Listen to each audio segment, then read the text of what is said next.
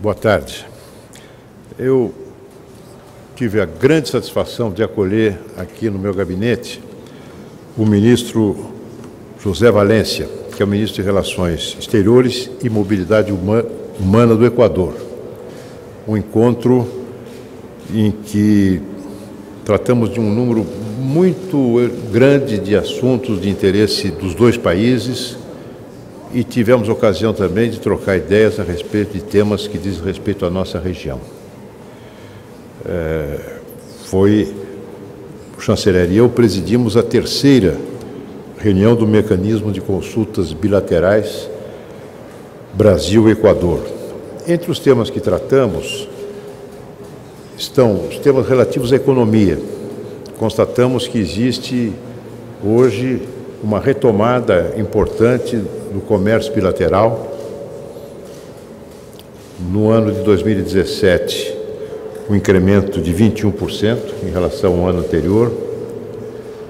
Tratamos de assuntos também ligados a investimentos.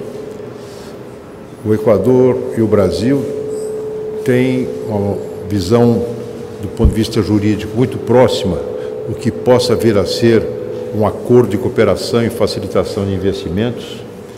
Retomamos o diálogo sobre esse tema e haverá hoje, ainda hoje à tarde, uma videoconferência entre as autoridades financeiras dos dois países, com o objetivo de nós avançarmos muito rapidamente para a conclusão desse acordo.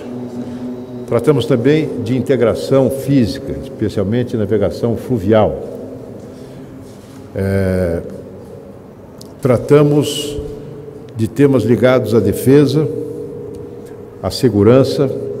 Vamos retomar o trabalho de uma comissão mista de combate a drogas. Temos um acordo de defesa importante firmado já entre os nossos países que fornece um quadro jurídico bastante adequado para a cooperação e convidamos, através do ministro Valência, o ministro da Defesa do Equador para vir ao Brasil, tão logo ele possa, para tratarmos de uma pauta muito extensa de cooperação.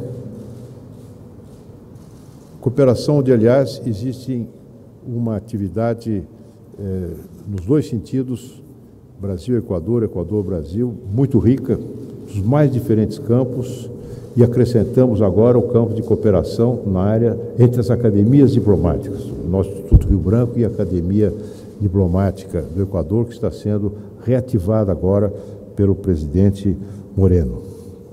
É, a pauta de cooperação técnica foi objeto de uma explanação do embaixador José Albino, que será o próximo embaixador é, do Brasil em Quito, em substituição ao embaixador atual, embaixador que nós chamamos carinhosamente de Cafredo Lazari, que cuja candidatura nós apresentamos à Secretaria Executiva, à Diretoria Executiva da, do Tratado, da Organização do Tratado de Cooperação Amazônica.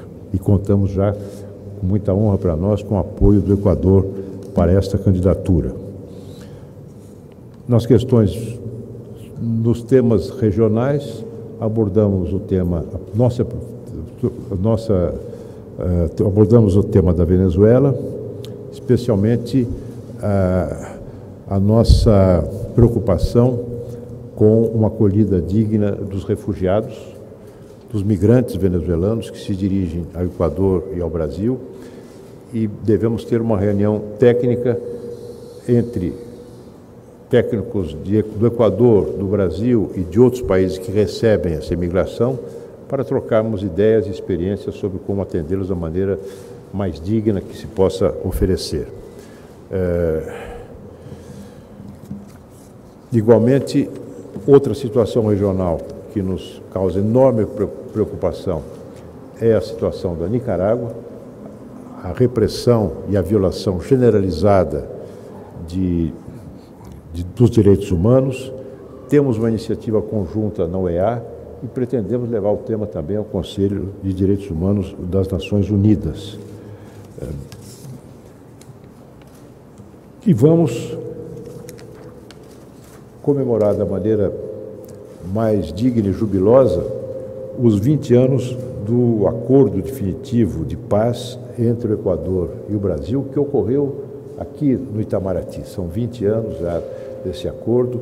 O atual embaixador do Brasil, do Quito, de, desculpe, da, do Equador no Brasil, participou ativamente como, como subsecretário à época, vice-ministro na época.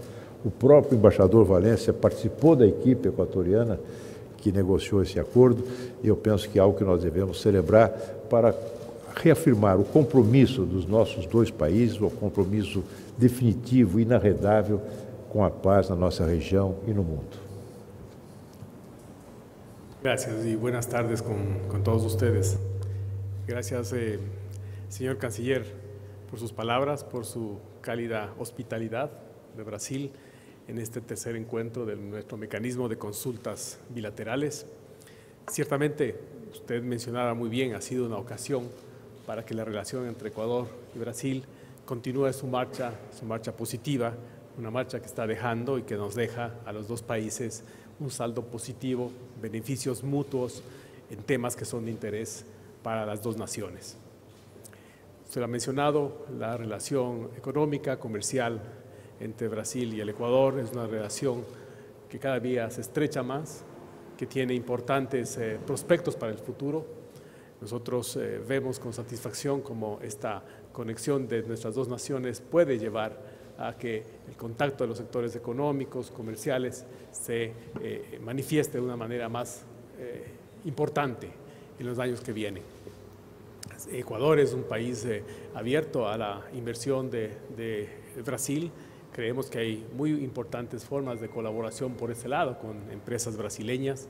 El gobierno del presidente Moreno ha establecido recientemente un nuevo marco que facilita en general la inversión extranjera y por supuesto entre esa es más que bienvenida la eh, eh, inversión de compañías de eh, procedencia de Brasil. Ahora vamos a empezar la discusión, la conversación sobre un convenio que facilite y que promueva esas inversiones, que dé seguridad, que dé previsibilidad, que dé garantías al, al, al inversionista en general que establezca un marco en el Ecuador adecuado para que esa seguridad fomente y promocione el contacto entre nuestros dos países.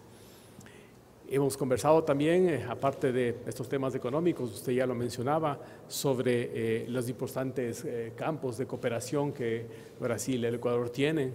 Es el, uno de los aspectos más relevantes de nuestra relación bilateral.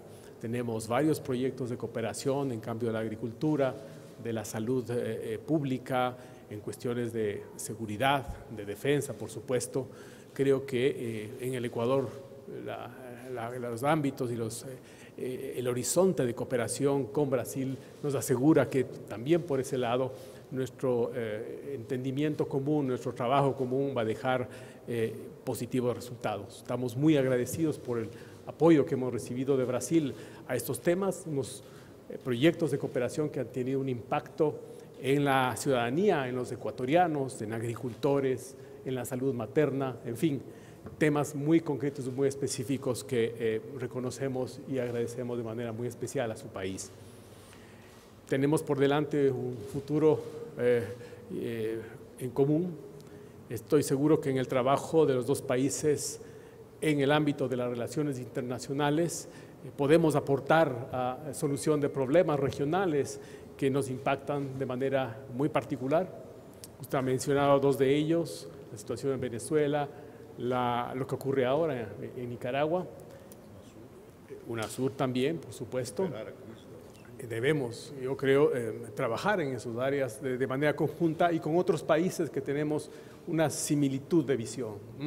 El tema de Venezuela es un asunto humanitario. Nosotros reiteramos y creo que y coincidimos con Brasil en que la solución venezolana es una solución que eh, compete sobre todo a los venezolanos. Es un asunto que debe resolverse eh, siguiendo los estándares democráticos que nos unen a todos nuestros países, buscando que eh, sea un entendimiento que facilite de superar la situación actual y evitar, entre otras cosas, el problema humanitario del, de la movilización y la salida de ciudadanos de Venezuela. Esperamos y confiamos en que pueda encontrarse una salida que esté a tono con los estándares básicos de democratización y también, por supuesto, con la defensa de los derechos humanos.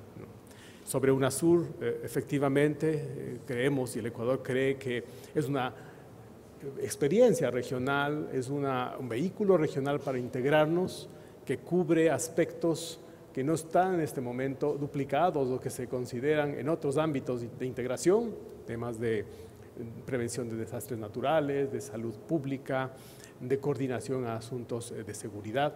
Creo que son muy útiles y eh, nos parece a nosotros que la forma de buscar eh, una salida para la situación actual de UNASUR consiste precisamente en concentrarse en aquellos eh, aspectos que nos unen, en aquellos temas positivos de la agenda de la organización que todos los países aceptamos y que pueden servir para integrarnos adicionalmente. plenamente nesta visão, coincidimos plenamente nesta visão.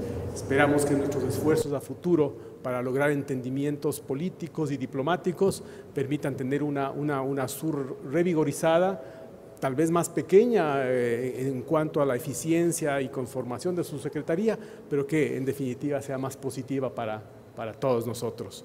Canciller, una vez más, muchas gracias por su, por su hospitalidad, gracias también a su delegación, nos eh, fue muy grato ver eh, eh, y participar con todos ellos en nuestras conversaciones del día de hoy.